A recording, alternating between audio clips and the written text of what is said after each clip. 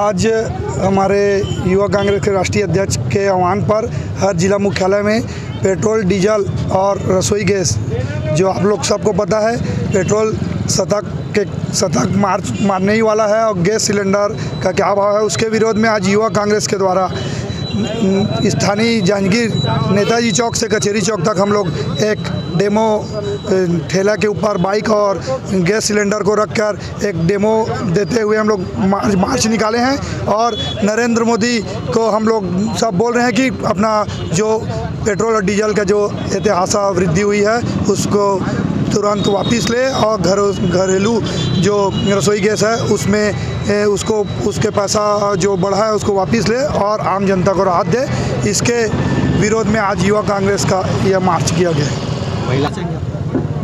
अभी बीजेपी सरकार केंद्र में है केंद्र में बीजेपी सरकार में हम लोग का गैस सिलेंडर महँगा हो गया है, पेट्रोल महँगा हो गया है, किसानों पर ऊपर अत्याचार हो रहा है। ये सब चीज़ों को मुद्दों को रखते हुए हम लोग अभी गैस सिलेंडर बंद करके चूल्हा जलाना शुरू करेंगे, क्योंकि गैस सिलेंडर महँगा होने से रसोई का पूरा हम लोगों का खर्चा बढ़ गया है।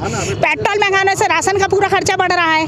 और क्या कहते हैं, किसानों की वजह से सब परेशान है। रसोई में महिलाओं के लिए कितना प्रताड़ित हो रही हैं। कल तो सर माना चाहिए, महिला मोर्चा जो भाजपा के लिए बैठे हैं, उन्होंने आंदोलन किया। जबकि आंदोलन तो उन्हें अपने ही पार्टी के लिए करना चाहिए था।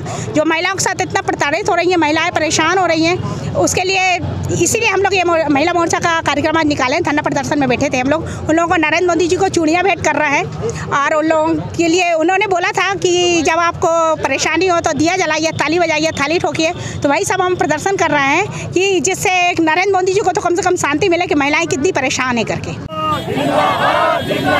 नरेंद्र मोदी